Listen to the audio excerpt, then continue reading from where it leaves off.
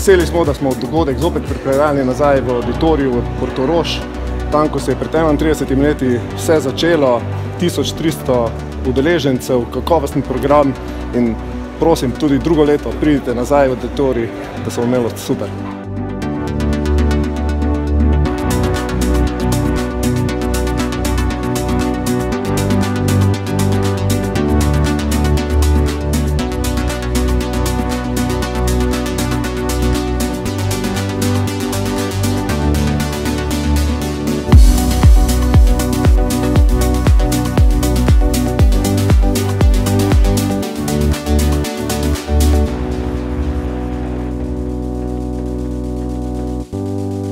Pravzaprav drugega, kot da sem izjemno, izjemno ponosen in vesel eh, nagrade.